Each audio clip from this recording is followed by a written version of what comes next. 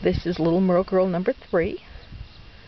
This is her first time away from the litter, outside on the grass all by herself. This is a new experience for all of them today.